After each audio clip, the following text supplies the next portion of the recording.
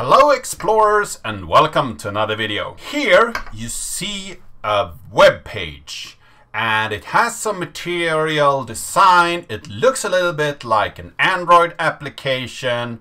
If I would say that this is built on Flutter, well, that's what this video is going to be about. So Flutter is a framework built on Dart that can compile and run on many different platforms.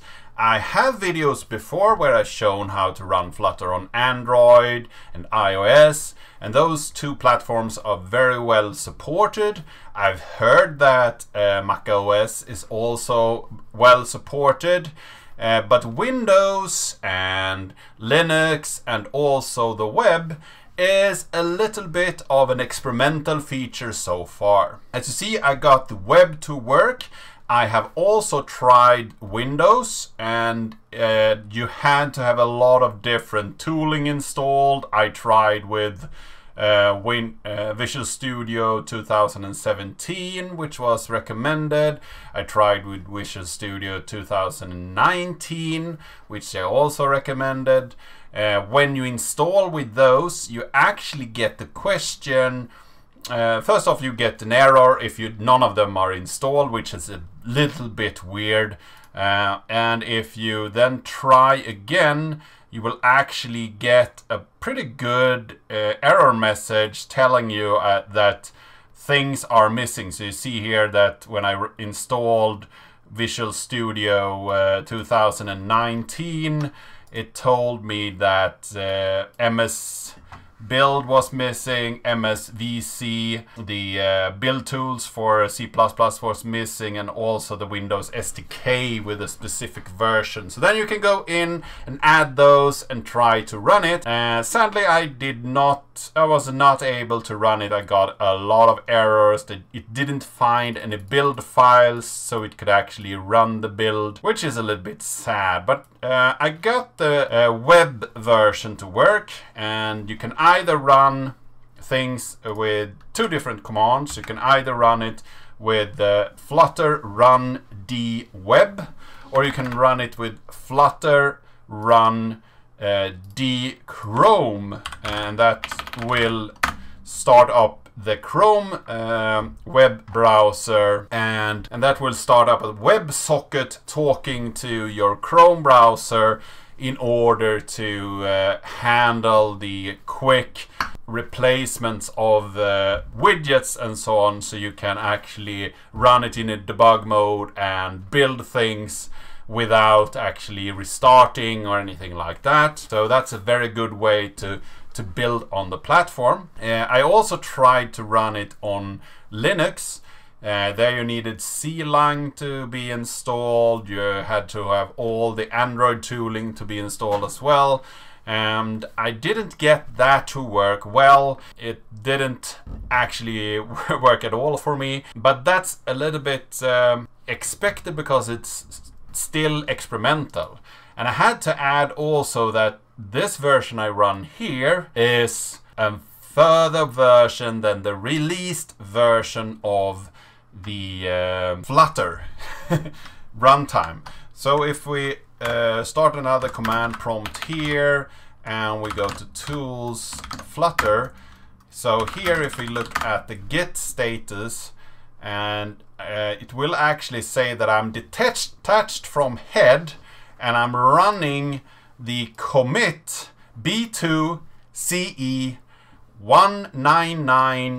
199D9. So it's a specific commit where the web version of the Flutter tooling is working. Uh, if you are running Flutter command, so the so if you are running a normal uh, Flutter version um, and you want to actually use the most recent in the developer version, the re most most recent versions that the developers are working on now, you need to type Flutter channel master. So that will change over to the master branch of Flutter and enable you to run the latest code. But you can't type channel and then a specific commit. So what I had to do was actually go into the directory of Flutter. In my case, I installed that in Tools Flutter, and here I had to go git checkout and that specific version. After that, you can run any command of Flutter actually, but if you run Flutter Doctor, for instance, it will go through and check which version you have, download the right Dart uh, version and the right um, version of the Flutter engine and handle whichever version that you have specified in your directory of Flutter. It's only when you run Flutter upgrade that it actually will uh, fix those issues that you might have with your uh, Flutter engine. I've now started up uh, Visual Studio Code and here you have my Flutter application here. So let's just uh, try to change something here and see if this will update our page here. Uh, it didn't, so maybe it's not connected. So let's see if we can do a hot restart here and maybe it will uh, push that update out to uh, the actual page here. Let's see. It's restarted and now it says Flutter test up here. Uh, if we go here and my Flutter page, change that. So it's not connected directly here. That's interesting. Hmm. Maybe I need some extra tooling. Let's see if I can download more Flutter things. Yeah, so now I have installed the Flutter uh, extension to Visual Studio Code.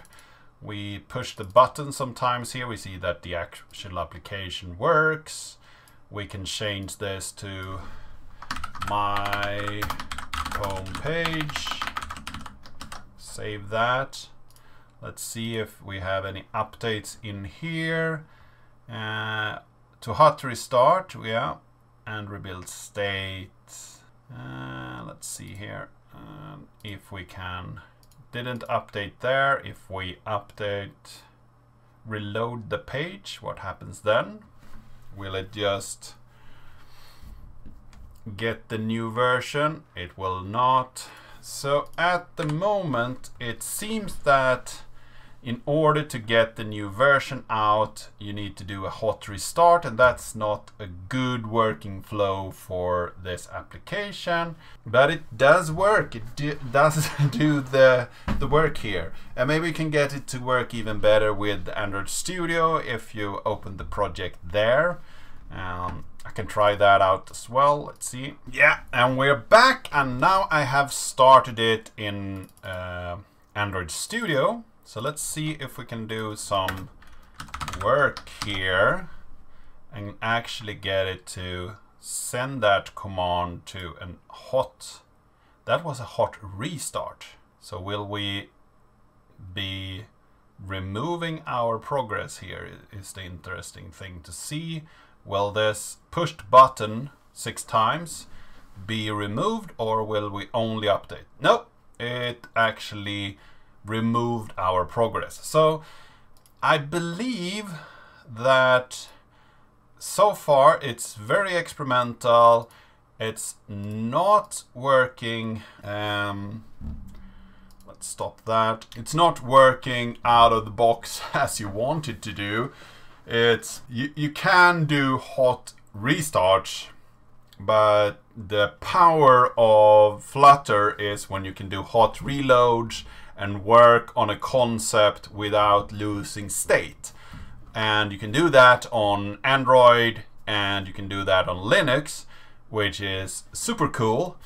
But it seems that uh, the web development with Flutter is not uh, ready for prime time yet. And if we look at the Windows build environment, there might have been sometimes previously where you can actually run the Windows desktop environment, uh, but you can't do that at the moment. At least it doesn't work for me. the same goes for the Linux desktop uh, environment. It's also not working for me at the moment. So let's go over to presentation mode here. There. So let's just look at the different options that you have. So when you in, have installed Flutter, you need to run Doctor to see that you have everything that you need. And then we have another command called config.